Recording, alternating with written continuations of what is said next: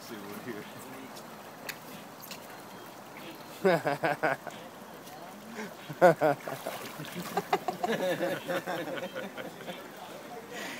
oh man. He loves it. yeah. I, I watched a video of Dan being angry.